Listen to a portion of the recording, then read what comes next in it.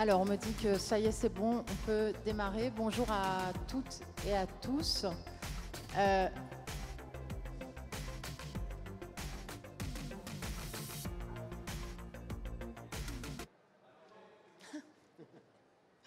Bon, euh, donc on va démarrer euh, cet atelier Urgence Amazonie. nous ne sommes pas euh, spectateur euh, impuissant d'une tragédie qui nous concerne tous. Les incendies en Amazonie ne sont pas des incendies liés au changement climatique. Ils sont liés à une politique de destruction qui n'est pas nouvelle, mais qui s'amplifie, qui s'accélère. Ce qui se passe en Amazonie, c'est en fait une catastrophe planétaire la cause de l'Amazonie, c'est la cause de l'humanité et on est en train d'assister sous nos yeux à une forme de destruction, d'effondrement qui lui-même entraîne des boucles de rétroaction sur le climat, sur le vivant, sur la biodiversité et aussi sur l'ensemble de l'humanité par rapport au destin des peuples autochtones qui sont pour nous une référence et une inspiration puissante dans euh, leur tradition et leur rapport en particulier à la nature. Ce qui se passe en Amazonie, c'est un écocide et un ethnocide. Et avec le Covid-19, il y a une accélération qui est en, en cours. Et le sens de l'organisation de cet atelier, c'est le refus de l'indifférence et c'est la volonté d'agir dont nous allons parler avec nos invités. On est dans une situation d'urgence absolue, puisque un climatologue disait, je crois, au mois de juillet, qu'on est en train d'atteindre un point de non-retour par rapport à la forêt, qui risque de la transformer en savane d'ici une quinzaine d'années. On est dans une urgence absolue parce que des militants écologistes, des militants des peuples autochtones sont assassinés. On est dans une situation d'urgence parce que nous, la France et l'Europe, sommes directement co-responsables, et on y reviendra, de ce qui se passe là-bas. Mais pour commencer, euh, nous avons euh, l'honneur et le privilège d'être en direct avec euh, le chef Almir Naray Amoga. Alors, Naray Amoga, ça veut dire l'esprit de celui qui unit. Bonjour, chef Almir. Je suis euh, très heureuse de, vous retrouver après notre rencontre euh, à Paris, euh, quand vous étiez venu plaider votre cause dernièrement. Vous êtes en direct du territoire du peuple surui. Donc d'abord, est-ce que vous pouvez nous parler de ce qui se passe en ce moment même D'abord du point de vue des, incendies et, euh, nous faire part de, l'évolution de la situation récente en Amazonie. Et on est très fiers d'être en direct avec vous.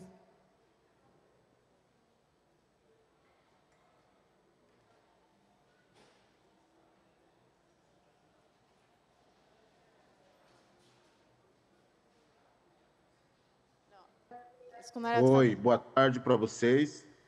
Primeiramente, quero agradecer pelo convite e falar do tema. É um tema tão importante é, para nós e para o mundo, como, como a Amazônia, né? E, e ações que, que traz ameaça para essa Amazônia.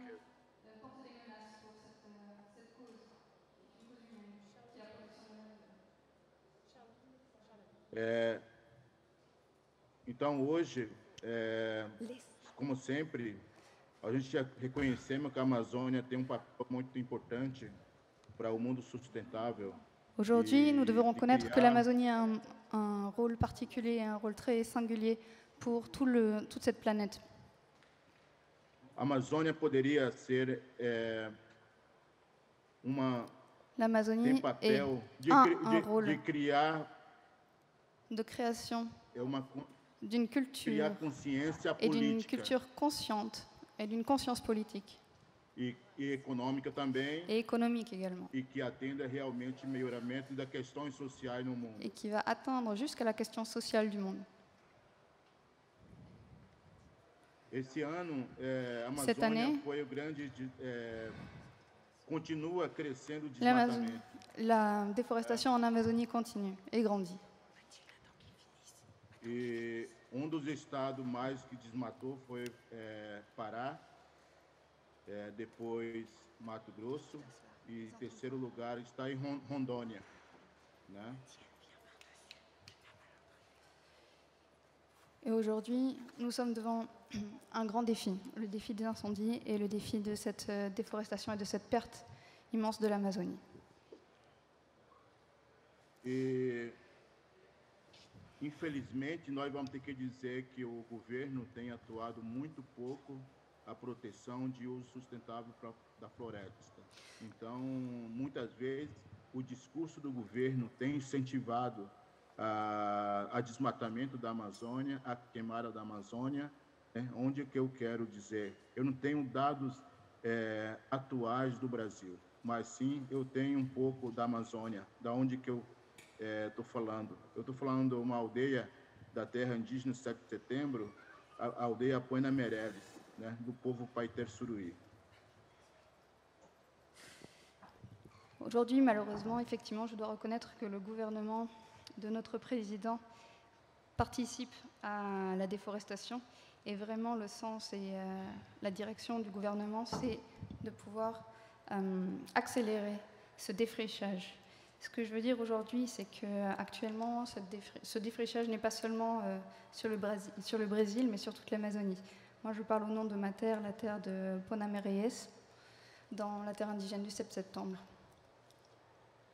E segundo informações do INPE, né, é quase 3, 3 milhões e 600, é, 69 é, mil de janeiro até julho desse ano, só na Amazônia, né? Que eu falei que são os, o principais estado que está sendo desmatado é Pará. Eu tinha falado Mato Grosso, mas não é Mato Grosso, é Amazon, Amazônia, né? Amazonas e terceiro lugar em Rondônia. Donc aujourd'hui, notre Michel. information que je voudrais vous donner, c'est qu'il y a 3 69 000 km qui ont été brûlés entre janvier et juillet cette année en Amazonie, pas seulement sur la tête du Mato Grosso, mais sur toute la euh, surface de la terre amazonienne. De, do ano passado foi 25%, mas esse ano já tem 64% de des- desmatamento na Amazônia. Isso, desmatamento, inclui as queimadas também, né? Cette année, c'est 74% de plus de déforestation que nous avons connue en Amazonie, et ça, c'est un- ce sont des chiffres qui incluent les incendies. Aí vocês falaram que vocês queriam ver o, o suruís com cocá, Ah. cheio de celular também. Vous avez dit tout à l'heure que vous vouliez voir un petit peu les, les Souroués dans leur village. Les voici, je vous les présente.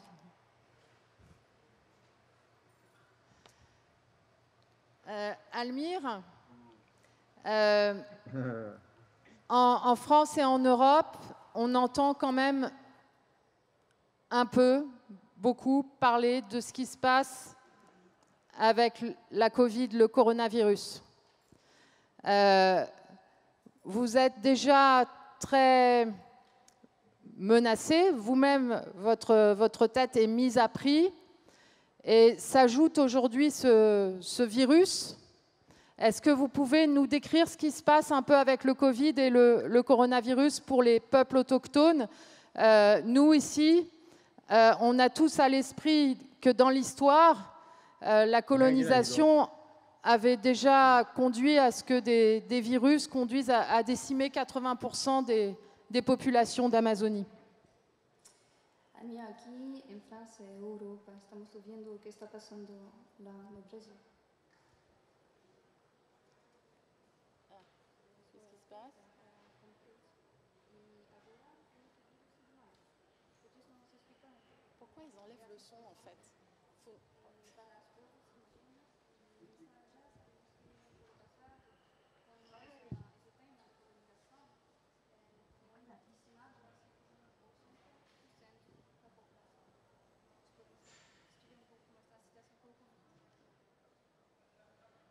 Então, é, infelizmente, essa doença é, chegou nas aldeias, né?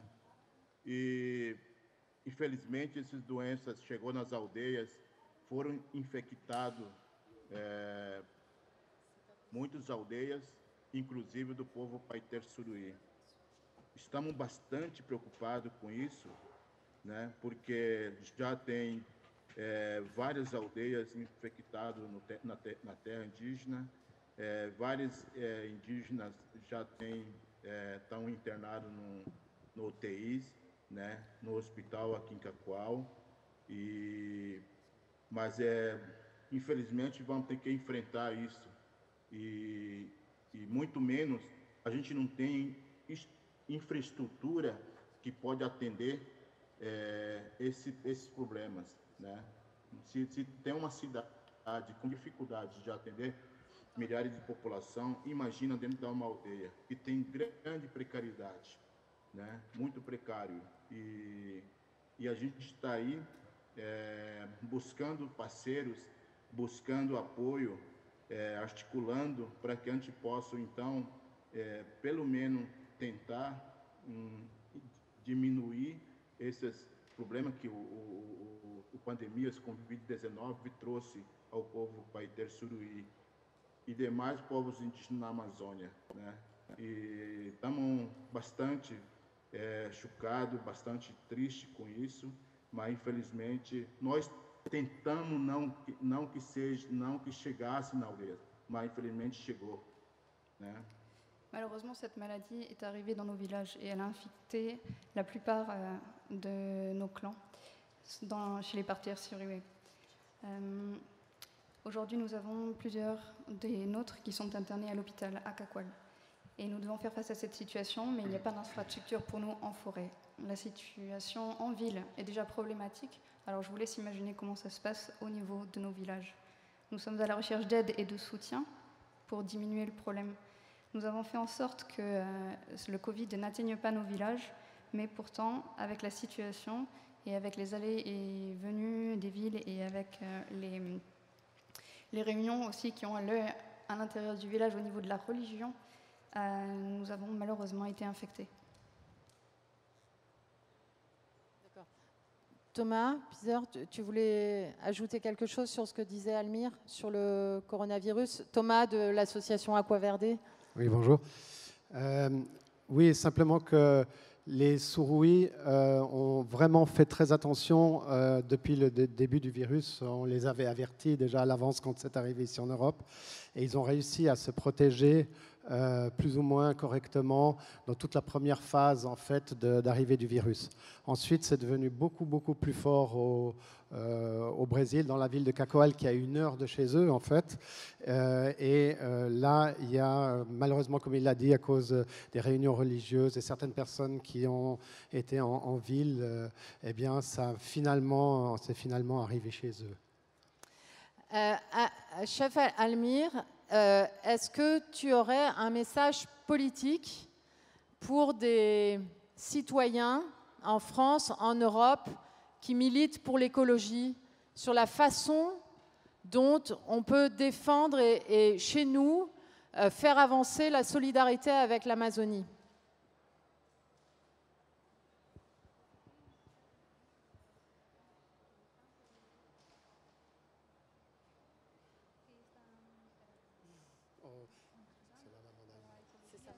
C'est sa maman. Je vous présente la maman d'Almir, qui a, qui a 93 ans.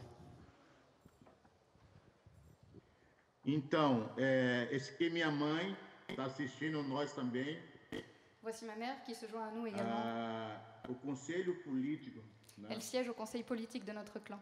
O conselho político que eu quero dizer, esse, é, enquanto esse mundo está passando essa crise de do, pandemias e pode vir é, trazer também outras crises em outras áreas, como é, na economia, na política e outras ações.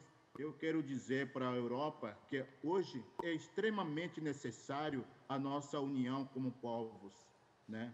Um apoiando o outro um aconselhando um outro e a gente dessa forma a gente pode construir é, um caminho junto que pode é, ajudar a salvar a nossa planeta, ajudar a manter o equilíbrio de todas as questões que um ser humano precisa.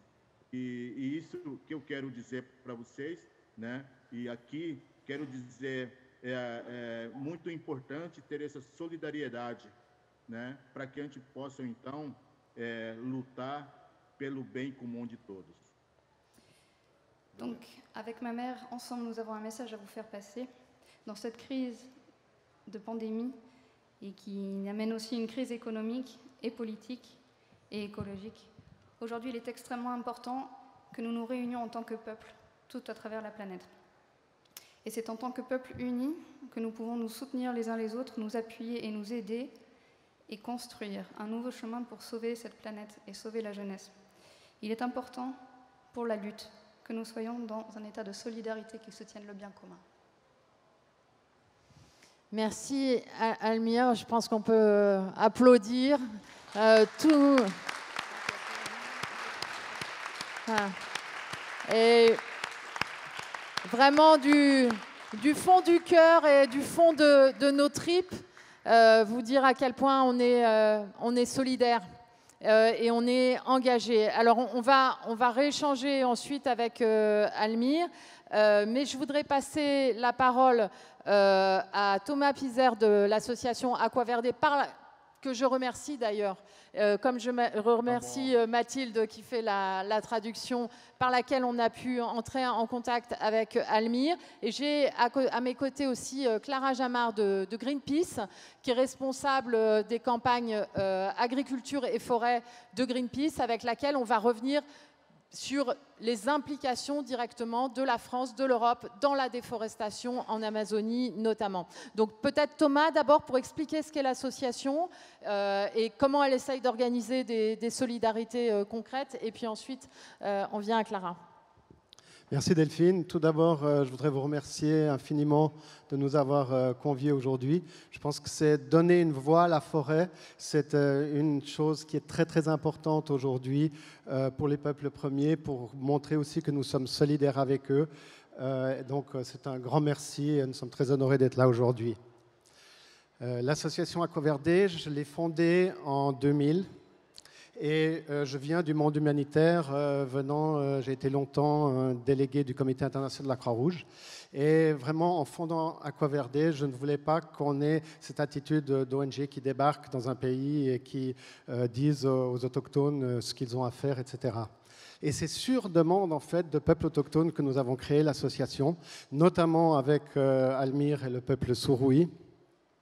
Et nous, avons, nous voulons vraiment être dans l'action concrète sur deux axes. Le premier axe, c'est au Brésil, euh, en soutenant euh, les peuples d'Amazonie qui, luttent le plus pour sauvegarder la forêt amazonienne et leur culture, parce que ça va de pair.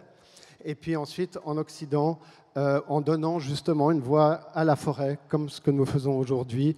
ce qui est aussi capital, ça aide à changer les consciences au niveau mondial. Chez les Sourouis, euh, une chose qui est très importante, c'est de les aider à montrer que la forêt peut être managée, peut être gérée d'une manière durable. Et ça, c'est un des grands goals d'Adalmir. Euh, et ce sont les Indiens eux-mêmes qui ont décidé des projets qui voulaient que nous les soutenions euh, à mettre en place. depuis 2005, les Souroués ont planté plus d'un demi-million d'arbres sur leur territoire indigène pour donner l'exemple, pour donner un exemple au niveau local, au niveau national du Brésil et au niveau international, disant, nous, ben, voyez, euh, avec nos petits moyens, nous, en tant que tribu de sauvages au fin fond de l'Amazonie, eh bien, on a décidé de vous montrer qu'il est possible de gérer une, forêt de manière durable. Cela va aussi bien euh, avec une aide que nous leur fournissons au, niveau euh, d'une microéconomie locale, avec un soutien à des produits de la forêt sans la, sans la détruire. Euh, et ça, on a développé sur toutes ces années avec le peuple Souroui, euh, qui a été un exemple pour d'autres peuples euh, pour d'autres peuples amazoniens. Il faut savoir qu'en Amazonie brésilienne uniquement, il y a plus de 180 peuples. différents et nous en soutenons trois qui sont parmi les leaders de la lutte pour, pour le maintien de la forêt dans leur contrée, dans l'état du Rondonia pour Almir et dans l'état de la Cré qui est vers la frontière du Pérou pour les Achaninka, les Puyanawa dont je vais vous donner deux mots. Euh, pour les Sourouis, nous avons aussi un projet euh, d'université indigène, qui est un, des savoirs indigènes, pour garder les savoirs ancestraux que ces, que ces peuples ont, et pour pouvoir faire un échange avec notre civilisation par rapport à cela. Nous avons des soutiens et des échanges avec, par exemple, en Suisse, euh, l'université de Lausanne euh, et des universités aussi à Sao Paulo, etc. Bien sûr qu'avec le Covid, cette année, ça a été mis un peu en sourdine puisqu'on ne peut plus tellement se déplacer, euh, ne voulant pas apporter à ces peuples le virus. Hein. Il faut se rappeler que le peuple souroui a eu son premier contact avec notre civilisation en 1969 ça fait 50 ans, hein, euh, et 51 maintenant seulement, et qu'en trois ans, ils sont passés de 5000 personnes à 300 euh, c'était vraiment une catastrophe euh, par les maladies qu'on leur avait amenées. Alors ce Covid, bien sûr, leur rappelle, euh, c'est un vrai ethnocide aussi, et ils ont un peu l'impression que ça recommence, et nous, on ne veut pas, donc on a, arrêté d'aller sur place cette année, on avait beaucoup de choses prévues, on a dû aussi ne pas faire venir les leaders indigènes ici, pour ces mêmes raisons-là, on ne veut pas les exposer à cela. Euh, et le troisième volet aussi de, notre action chez les Sourouis, c'est une, une, aide à la protection territoriale, parce qu'ils ont un territoire de 250 000 hectares qui fait le Grand Paris, en fait, et qui aide encore à 90% de la forêt inviolée. Et là, euh, ils patrouillent pour la protéger. Almir n'a pas tellement beaucoup parlé des incendies. Euh, l'année passée, les Sourouis ont perdu 20 000 hectares sur ces 250 000 au feu de forêt criminels qui ont été boutés sur leur territoire par des gens qui espèrent que si on brûle tout, après les, les vont leur louer les territoires pour y faire paître des vaches, euh, par exemple. Donc, euh, cette année, heureusement, ils n'ont pas encore perdu euh, de territoire au feu. Et c'est grâce justement à ce fait qu'ils patrouillent, euh, qu'ils patrouillent leur territoire en protection territoriale. Ils ont des teams qui, tournent et qui, qui, avisent la police dès qu'ils voient des déforesteurs. Ou bien il y a beaucoup de mineurs illégaux aussi pour l'or et le diamant sur leur territoire. des gens qui peuvent aussi transmettre euh, le, qui peuvent aussi transmettre le virus, d'ailleurs, euh, qui était un des problèmes dont Almir n'a pas parlé, mais par les contacts externes aussi. Chez les Achaninka, nous avons un gros programme de reforestation à 50 000 arbres par an qui se poursuit. Eux sont sur la frontière avec le Pérou. Eux n'ont pas de problème de Covid parce qu'ils sont tellement loin que personne n'arrive jusque chez eux. Ils sont en sécurité là-bas. Ça nous fait grand plaisir. Euh, le peuple Puyanawa, qui est aussi un peuple de la Cré. Avec celui-là, on a un autre euh, projet parce que chaque peuple est vraiment différent l'un de l'autre et ils ont des besoins différents pour protéger leur territoire. Le peuple Puyanawa, ils essayent de récupérer une terre ancestrale parce qu'ils ont été réduits à l'esclavage au, début du XXe siècle et euh, ils ont récupéré une terre indigène qu'on leur a rendue aujourd'hui, mais qui n'est pas leur terre d'origine et ils ont toute la terre de leurs ancêtres qui se trouve dans une zone qu'ils doivent racheter. Donc on a ce projet pour ça. Euh, voilà. Et bon, bien sûr, en, Occident, eh ben, nous, faisons vraiment, nous essayons d'ouvrir de, euh, au monde politique, au monde économique, euh, au monde, au public, la voix des, de ces peuples. Et nous, nous, les invitons quand nous pouvons. Et quand on ne peut pas les inviter, ben, on les a sur Zoom depuis la forêt amazonienne. On fait des visios, comme pendant le confinement. Merci Thomas. Clara, euh, d'abord merci à Greenpeace euh, du travail que vous faites sur l'Amazonie. Il y a quelques jours, en fait, Greenpeace a, rendu public des informations qui contredisent complètement euh, celles qui sont les mensonges en fait de, Bolsonaro sur ce qui est en train de se passer ces dernières semaines et depuis le, début du mois de juillet. Et euh, merci aussi du travail qui est fait euh, par Greenpeace, notamment comme d'autres ONG, sur la problématique en fait euh, de la co-responsabilité immense de l'Europe et de la France, au travers notamment des fameuses importations de soja, dans ce, processus en fait d'incendie volontaire d'écocide et d'ethnocide en Amazonie.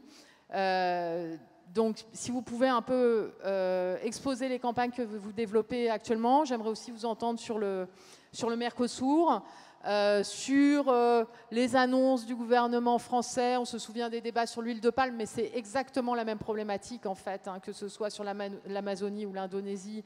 Euh, donc les soi-disant plans sur la lutte contre la déforestation importée et sur ce qu'on peut faire pour, pour agir. Vaste question. Bonjour. Oui, effectivement, nous à Greenpeace, on, travaille sur cette question des forêts depuis plusieurs décennies maintenant. Vous m'entendez bien? Plus haut? Voilà, super. Euh, mes collègues brésiliens ont effectivement euh, effectué des survols de, l'Amazonie en feu euh, il y a quelques jours et ont diffusé dans la presse des photos extrêmement impressionnantes de ces incendies. Vu de France, vu d'Europe, ça n'a l'air de rien. dans le contexte brésilien, il faut comprendre que c'est un acte militant extrêmement courageux.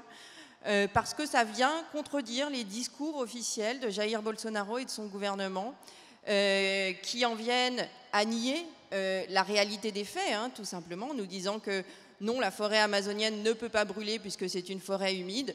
Voilà, nous, on va montrer ces photos au Brésil, évidemment, mais aussi dans le reste du monde pour venir démonter ces mensonges politiques qui sont orchestrés au plus haut niveau. Donc évidemment, la, culpabilité euh, de Jair Bolsonaro et de son gouvernement euh, dans ces incendies, dans, cette destruction euh, de la forêt amazonienne, et pas que de la forêt amazonienne d'ailleurs, hein, on parle beaucoup de l'Amazonie parce que c'est un symbole, c'est un emblème, mais il y a d'autres écosystèmes latino-américains qui subissent exactement le même sort. Je pense au Cerrado, je pense au Grand Chaco, dont on parle beaucoup moins parce que c'est peu connu ici, mais qui sont dans des situations similaires et qui sont exactement comme l'Amazonie, euh, des grandes réserves de biodiversité et puis des, paravents contre la, crise climatique qu'on est en train de, vivre. Donc la, culpabilité, euh, je disais, du, gouvernement de Jair Bolsonaro, elle est claire. En Europe, on en parle beaucoup, il n'y a pas tellement de débat là-dessus. Par contre, ce qu'on entend moins, c'est notre responsabilité à nous. Euh, et c'est la complicité dans laquelle on se trouve en continuant à importer massivement du soja pour l'alimentation animale. Ce qui est en cause ici, là où, est notre responsabilité, c'est dans notre système d'élevage industriel. En fait, c'est très simple, c'est très clair. Ce qui se passe, c'est qu'on a un système d'élevage qui s'industrialise de plus en plus en France et en Europe, avec des fermes-usines qui fleurissent euh, un peu partout, euh, et du bétail qu'on va nourrir avec du soja produit en Amérique latine sur des terres déforestées. Donc c'est très simple, l'Europe c'est le deuxième importateur euh, mondial de soja euh, latino-américain derrière la Chine, on en apporte 33 millions de tonnes par an. en France, on est autour de 4 millions par an. Ça fait un cargo de soja qui débarque dans les ports français tous les 10 jours en moyenne, pour vous donner une idée. Euh, donc à Greenpeace, évidemment que euh, on interpelle sur ce sujet. À peu près à la même époque, l'année dernière, on avait d'ailleurs bloqué euh, pendant 72 heures un cargo de soja en provenance du Brésil qui arrivait dans le, dans le port de Sète, dans le sud de la France, pour dénoncer ces arrivées massives de soja industriel. J'ajoute que ce soja, c'est du soja qui est à presque 100% du soja OGM. Euh, qui est cultivé avec des pesticides qui sont interdits euh, en Europe euh, par des exploitants agricoles qui utilisent une main-d'œuvre extrêmement bon marché dans des conditions de semi-esclavage. Donc, que ce soit sur le plan social ou sur le plan environnemental, on est face à une catastrophe absolue dont on se rend complice euh, en continuant à importer aussi euh, massivement ce soja euh, pour l'alimentation animale. Alors qu'est-ce qu'on peut faire Alors déjà à l'échelle individuelle, évidemment, végétaliser notre alimentation, ça on le sait tous. un consommateur européen moyen va manger jusqu'à 85 kg de viande par an. C'est absolument énorme. Il faut réduire, il faut réduire drastiquement notre consommation de viande, d'œufs, de produits laitiers. C'est bon pour la planète, c'est bon pour notre santé, on le sait. Il ne s'agit pas de tous devenir véganes, absolument pas. Il s'agit de consommer raisonnablement. Aujourd'hui, on est dans une surconsommation qui est néfaste et pour notre santé et pour la santé de la planète. Donc ça, c'est à une échelle individuelle. Et, de choisir élevage local, à l'herbe, etc. Absolument. Et la viande qu'on continue de consommer, de la choisir euh, biologique si possible, ou en tout cas euh, locale et produite dans, dans, des, dans des conditions écologiques. Et dans des conditions écologiques, ça veut dire aussi avec une alimentation qui est produite localement. Donc il y a un gros enjeu de relocaliser notre système d'élevage aujourd'hui en accompagnant hein, évidemment euh, les éleveurs européens. Il ne s'agit pas de, mettre euh, un fardeau supplémentaire sur le poids des agriculteurs sur les épaules des agriculteurs, sur les épaules des éleveurs, qui doivent être euh, associés euh, à cette lutte pour transformer notre système agricole et alimentaire en profondeur afin de le rendre effectivement durable. Donc ça, c'est des solutions individuelles, mais j'ai envie d'insister bah, surtout sur les solutions politiques, parce que là, on est face à un problème qui est politique et les solutions seront avant tout politiques. Euh, en France, l'année dernière, quand euh, le monde s'émouvait à juste titre hein, euh, des incendies en Amazonie, il y avait le G7 qui se tenait en France et on a Emmanuel Macron qui a fait de très beaux discours en disant que c'était un sujet à mettre à l'agenda international de toute urgence, qu'il allait s'en emparer. il a même reconnu la complicité de la France dans cette catastrophe en cours, et c'est le mot qu'il a lui-même utilisé euh, dans une intervention télévisée. Depuis un an, il ne s'est absolument rien passé de concret. Donc derrière euh, ces beaux discours, euh, finalement, il se passe rien, et c'est d'autant plus rageant qu'en France, on a des politiques hein, qui existent. On a une stratégie qui s'appelle la stratégie nationale pour la déforestation apportée, euh, qui va bientôt avoir deux ans, novembre prochain, qui a été euh, voté par le gouvernement d'Emmanuel Macron. Euh, et qui dit que la France n'autorisera plus l'entrée sur son territoire en 2030 au plus tard de denrées agricoles ou de produits commerciaux quels qu'ils soient qui ont engendré de la déforestation. Ça fait deux ans que cette stratégie nationale a été votée sur le papier, elle est très bien. Sauf que d'une part, elle n'est absolument pas euh, contraignante. D'autre part, le gouvernement n'a absolument rien mis en œuvre pour qu'on puisse l'appliquer. C'est-à-dire qu'il n'y a pas de moyens, il n'y a pas de ressources euh, humaines dédiées, il n'y a pas d'objectif intermédiaire chiffré euh, qui a été défini. Donc aujourd'hui, cette stratégie, elle est dans un tiroir, elle est très belle sur le papier, elle ne sert strictement à rien. Donc ce que nous, on demande à Greenpeace, bah, c'est très simple, c'est de mettre en œuvre cette belle stratégie dont on s'est doté et de la mettre en œuvre au plus vite, en commençant par interdire euh, d'entrer sur le territoire euh, français le soja dont on n'est pas capable de prouver qu'il n'a pas contribué à la déforestation. Et ça, c'est extrêmement important, en fait, de renverser la charge de la preuve. Parce qu'on nous dit toujours, vous n'êtes pas capable de tracer, de remonter les chaînes d'approvisionnement. Alors, d'une part, si, on est capable, on sait le faire mais effectivement, ça demanderait un temps euh, fou euh, pour le faire pour chaque cargo, hein, puisqu'il y a un cargo qui arrive à peu près tous les 10 jours en France. Euh, il faut renverser la charge de la preuve, c'est-à-dire que les entreprises qui importent du soja pour l'alimentation animale doivent elles-mêmes nous prouver que ce soja n'a pas contribué à de la déforestation. C'est une première chose. Si ces entreprises ne sont pas capables de le faire, et aujourd'hui elles ne sont pas capables de le faire, c'est aux États euh, de prendre des mesures contraignantes pour interdire l'entrée sur notre territoire de ce soja euh, qui euh, contribue à la déforestation en Amazonie et dans d'autres écosystèmes fragiles latino-américains. Donc cette, cette, stratégie nationale sur la déforestation importée, il faut l'appliquer, il faut l'appliquer vite. il faut aussi l'étendre au niveau européen et il y a une, discussion en cours aujourd'hui au niveau européen sur une régulation sur la, sur la déforestation apportée qui est euh, relativement euh, similaire hein, à celle dont on s'est doté en France mais que nous n'appliquons pas. Euh, et là, ça traîne.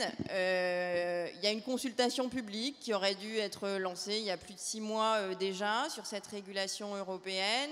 On l'attend toujours. Donc là, évidemment, bah, ce qu'on demande, c'est d'enfin amorcer ces discussions politiques qui sont plus que nécessaires et que l'Europe se dote, comme la France, d'une législation qui soit ambitieuse, mais qui soit aussi contraignante et appliquée. Donc, donc là, il y a vraiment des efforts à faire au niveau national comme au niveau régional pour que la France et l'Europe soient enfin exemplaires et cessent d'être complices en fait de cette situation. Merci beaucoup Clara. On va passer au, débat. Euh, donc, est-ce qu'il y en a parmi vous qui veulent poser des questions, que ce soit euh, au chef Almire, euh, que ce soit à nos invités qui sont, qui sont là? Je sais qu'il y a beaucoup de frustration parce qu'il y a eu beaucoup d'ateliers. Là, voilà, on a, on a un petit temps, un bon quart d'heure de, de discussion, donc profitons-en. Oui, bonsoir.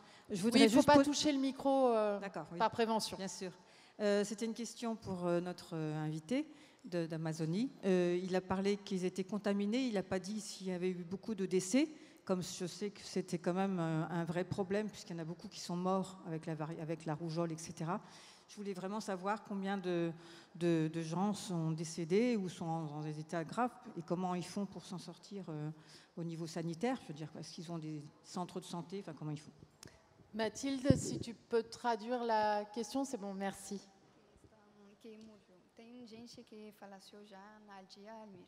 Covid.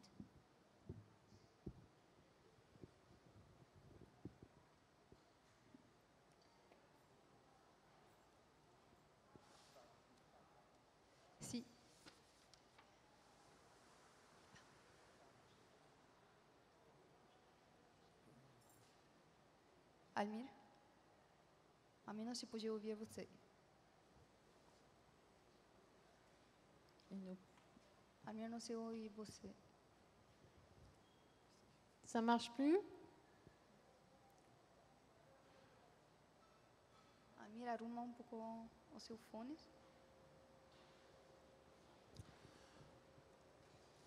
Peut-être Thomas, tu peux, en attendant, euh, ou alors que quelqu'un de la technique nous renseigne sur ce qui se passe.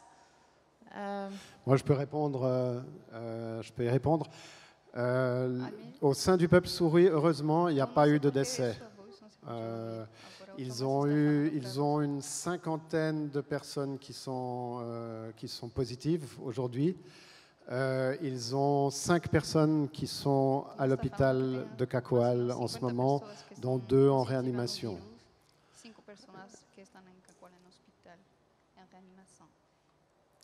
Mais bon, il y a eu, comme vous le dites, dans d'autres peuples, on se souvient de ben, l'épouse du chef Raoni qui est décédée euh, il y a quelques semaines et un, et un, des grands défenseurs de la forêt amazonienne, euh, le, leader euh, Walapiti, qui est décédé aussi du Covid. chez les Puyanawa, on a eu aussi un des anciens, l'ancien chef de, des Puyanawa qui est décédé du Covid. et ils ont une cinquantaine de personnes atteintes aussi, mais aujourd'hui, ils sont tous euh, ils, sont tous guéris et puis ils se protègent énormément. Donc euh, les Achaninka, eux, n'ont pas de, n'ont eu personne d'atteint. Une autre question? Oui.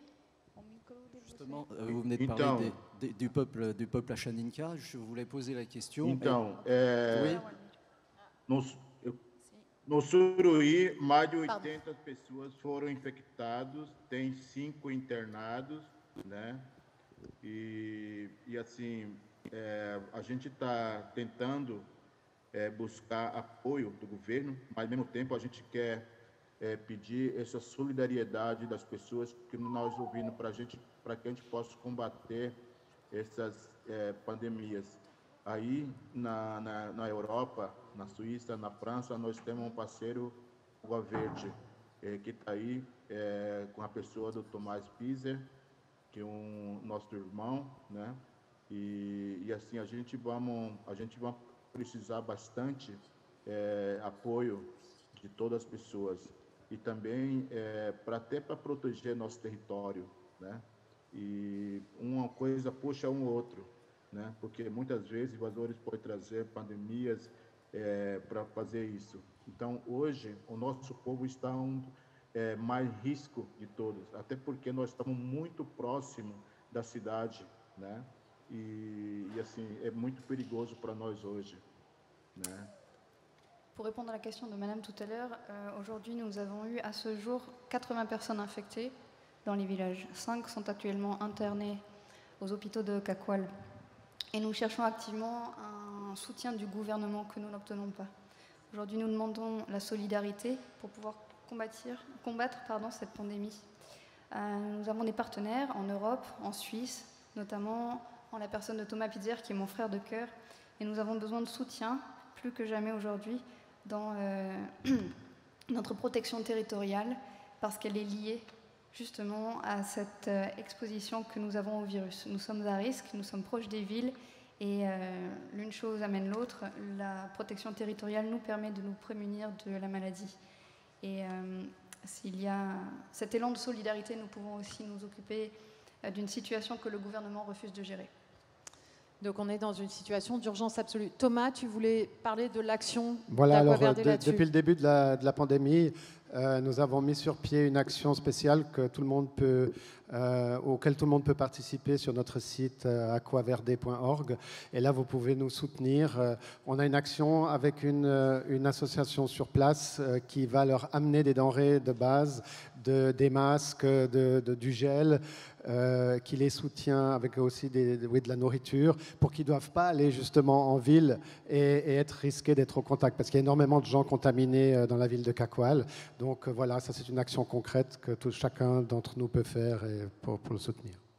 Je remercie Céline qui à chaque fois me fait le timekeeper et me montre le temps qui reste. Une dernière question avant qu'on revienne à Clara.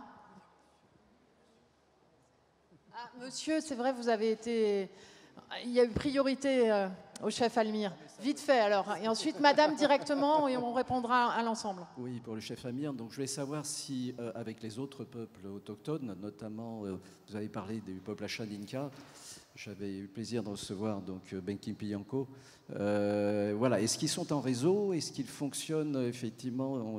Est-ce qu'ils s'entraident pour justement avoir une parole qui pèse encore plus? Merci. Madame Oui, alors je voudrais savoir, euh, euh, a question va... Sim, com certeza. A gente tem é, contato com outros, outras lideranças indígenas e, inclusive, nós vamos ter live hoje, 5 é, horas, horário de, de, de, Rondônia, 18 horas, horário de Brasília, com grandes líderes é, indígenas, como Ailton, é, Sônia de Guajajara, deputada federal indígena Joênia Wapichana, né, e também é, vice-coordenador da COIAB, é, o Mário Inácio.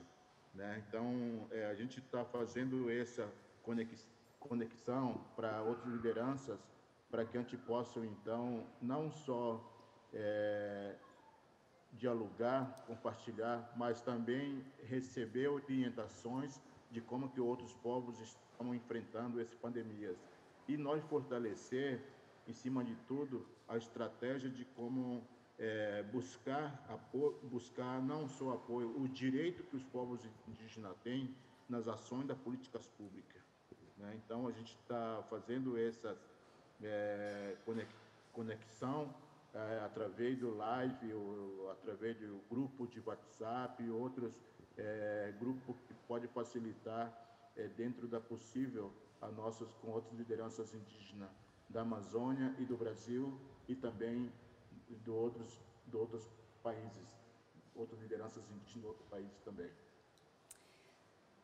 Donc pour répondre à la question de la part du chef Almir, pour monsieur de tout à l'heure, euh, Oui, nous sommes en contact, euh, les grands leaders ici que nous sommes entre peuples indigènes. Nous avons par exemple ce soir un entretien téléphonique, euh, pareil, par l'intermédiaire de WhatsApp et de Zoom à 5 heures à l'heure de euh, Rio.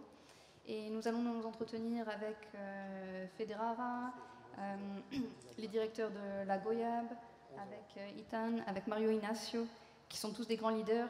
Nous allons nous entretenir sur la connexion avec les autres peuples, pas seulement pour partager notre expérience à l'heure actuelle sur euh, le Covid et seulement pour dialoguer, mais également pour pouvoir trouver et définir d'une orientation pour tous les peuples, d'une stratégie pour pouvoir euh, faire face au Covid et faire face également à la pression publique et politique que nous recevons. Aujourd'hui, donc, nous utilisons euh, à travers les communications en live, les groupes WhatsApp, le Zoom, etc.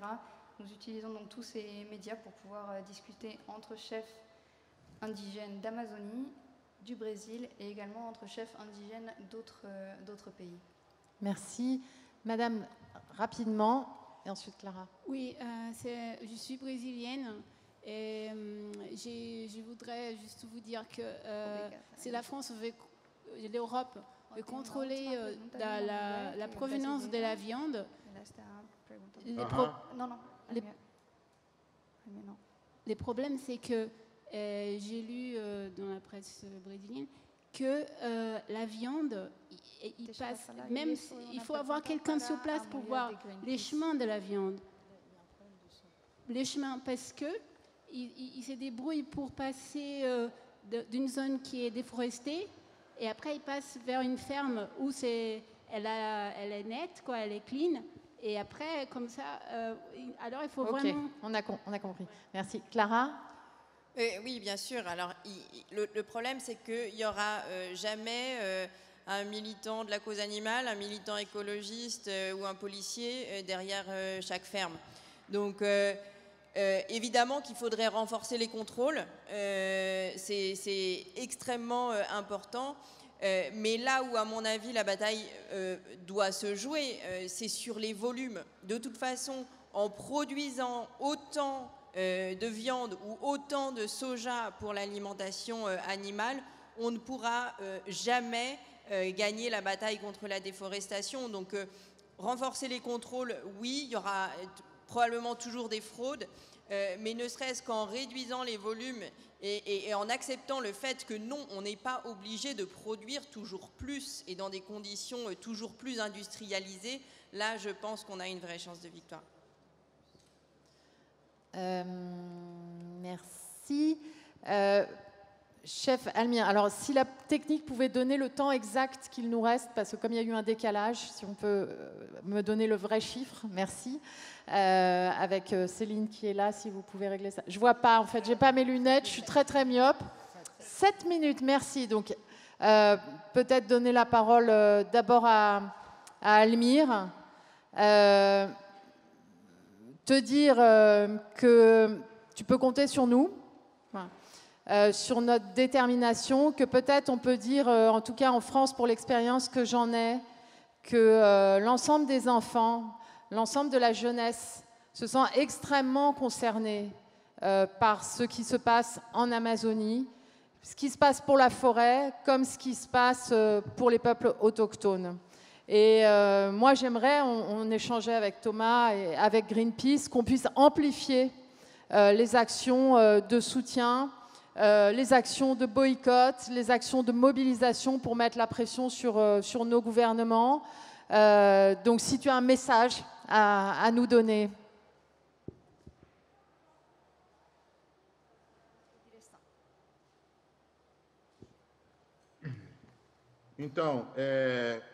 Primeiramente quero agradecer mais uma vez, né? Sempre é um grande é, prazer de falar sobre o, o- junto com as pessoas que têm preocupação com, a, com o nosso planeta, a partir do respeito da floresta. né? Então, é, quando a gente falamos da, do de- desmatamento e é, o plano mal planejado de desenvolvimento sustentável,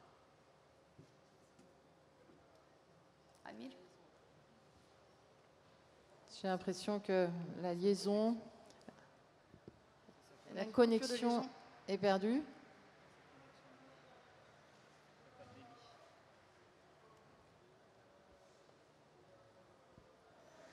Ah, la- Mathilde, tu peux nous Dans traduire le début de ce qu'il disait?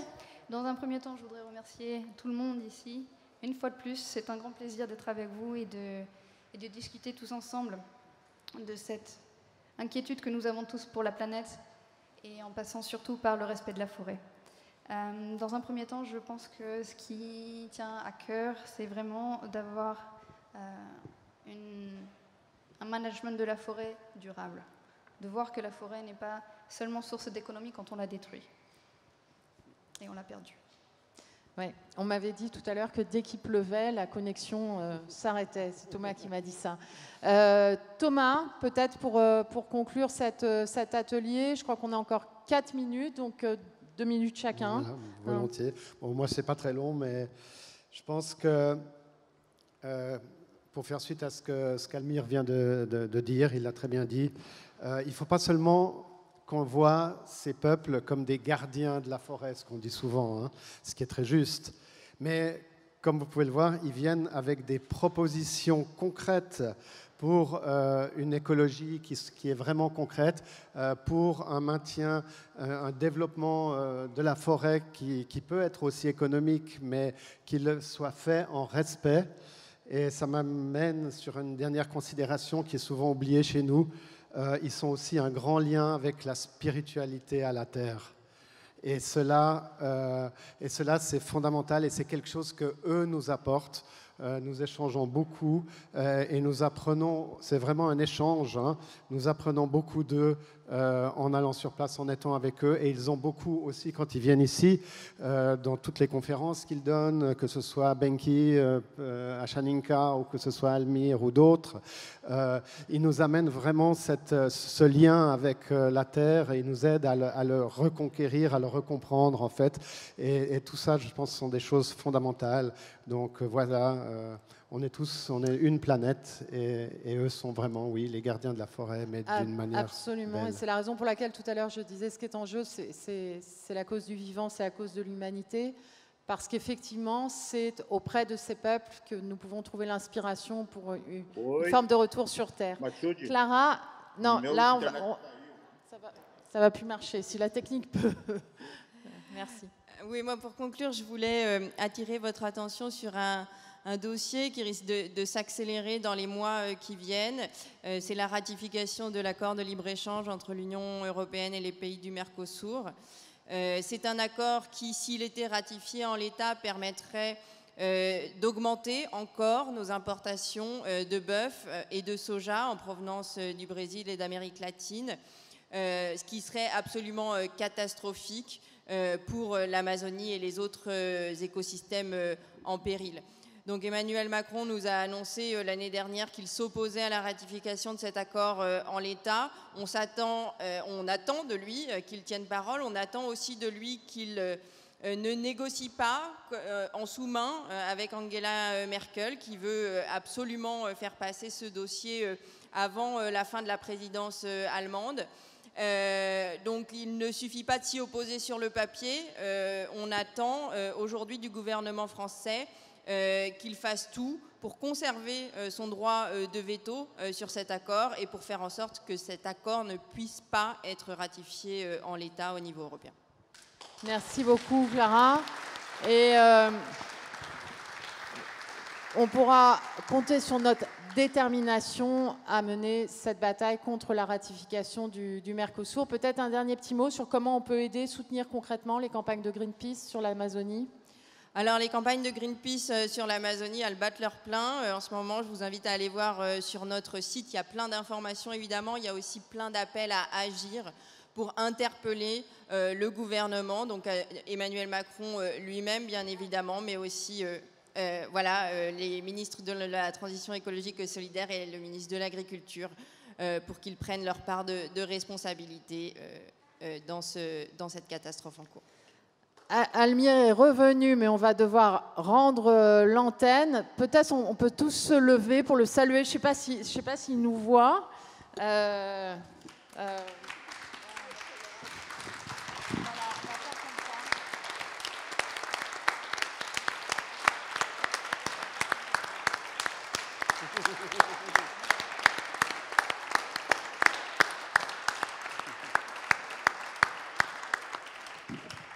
Merci, merci à tous et merci à Almir d'avoir été euh, en direct avec nous.